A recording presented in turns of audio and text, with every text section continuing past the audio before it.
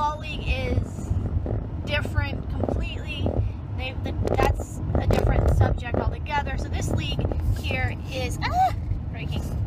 the um, a lot of these guys are young, uh, usually 22 at the most, depending on when you got drafted. If you're rehabbing, if you've been back and forth between being hurt, different situations. So with this one here, they tend to some teams tend, tend to have more of the Dominican guys, the Venezuelan Latin guys, who this is their first year in the states, so they kind of bring them into here.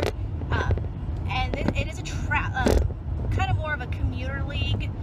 They don't actually, you know, you don't go three games, four games, you know, wherever you're you're here. You could play the like so tonight. I'm going to the Angels and the Diamondbacks, which is my boyfriend's team is the Angels. He's not on this team, but I know a lot of the guys, so it gets me out of the house, so I go. Um, they are free games for anybody. That always seems to be a topic, a question I get going around work and stuff or wherever.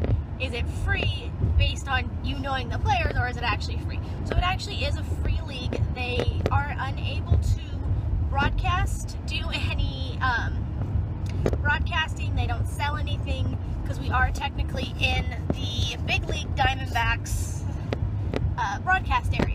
So we're not able, you know, they're not able to advertise or anything. Every great once in a while, you'll hear it mentioned on the Diamondbacks games. Um, trying to block the sun from glaring here. You'll hear about it. You know, they might mention, oh, the rookie, the Arizona Rookie League. Sometimes I've only heard it, you know, three or four times myself.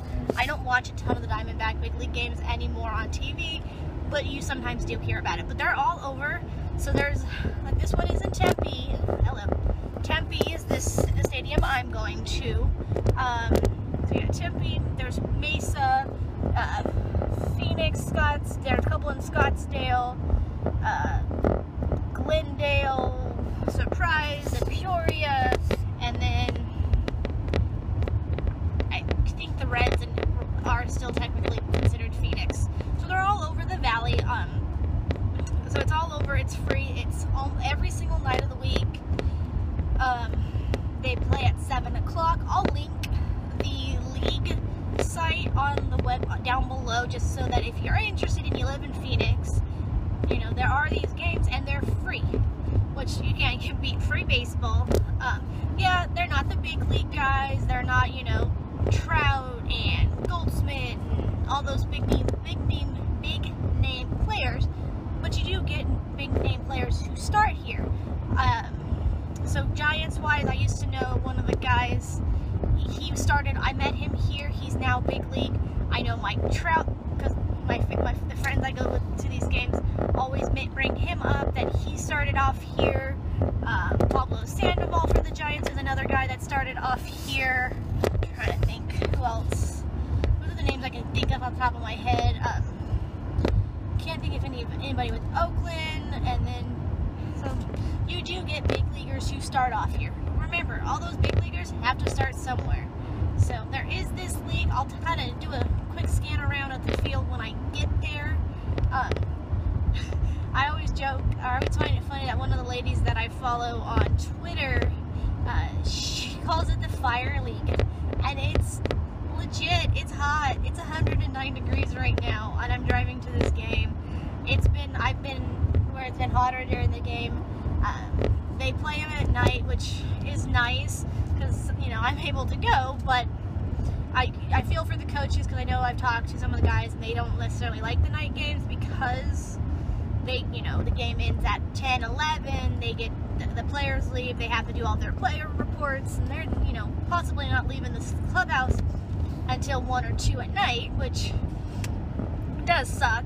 But the alternative is when they were they do. I've been around this league a couple years now. They kind of go back and forth between wanting between doing the night games and the uh, day games at 11. Okay, so back to what I was saying there. So the 11 o'clock games, um, I find, you know, would, wouldn't be as hot as, you know, 100 and holy crap, now it says 11. So, um, the only thing is you got, you know, direct sunlight. There was one game last year, they did a playoff game during the day because they were worried about getting a storm because we do get the monsoonal summers here. Um, and it was hilarious. I was hanging out with some of the players after the game and after you know that afternoon, and I was laughing because all the, the, Venezuelan guys and I all had the same tan line of sunglasses on our face. So it's not as hot, you know, at 11 o'clock, and they get out at a much reasonable time, but it's direct sunlight all day. Where the 11, the 7 o'clock game isn't direct sunlight, which is always a plus. You're getting a little bit of you know, relief from that, but it doesn't make it any cooler. So it is a, a hot league. It's June, July, and August in Phoenix. Not much more you can say other than it's going to be hot. I know my dad was laughing at me as I was leaving a little while ago when I asked him, "Is it gonna? Is it hot?" And his answer was, "We live in Phoenix."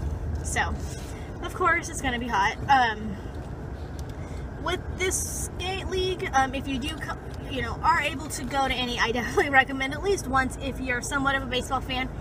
It's free baseball.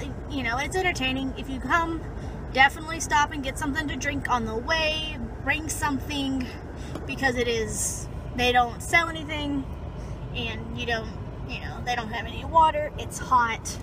Um, all the facilities are super nice except for one. If, and they go back and forth between playing in this the big league spring training stadium and their practice field. So it varies on where that one is, but it's fun and it's always entertaining to get out of the house.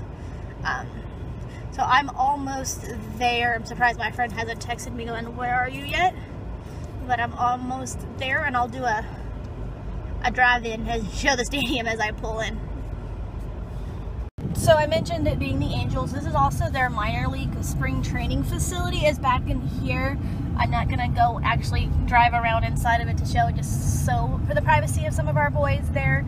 Uh, but that is our facility here. Uh, we're about to pull into the big league field. Oops, my finger's in front of it.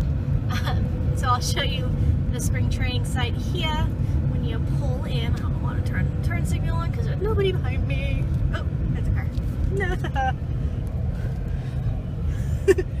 so this is the first time I've done this. So this is the spring training facility, this stadium. It's a nice stadium. Ah! One of the trainers are coming. I always feel weird doing this and I know the players. So this is our field. I've always used the back entrance. That's just what I do.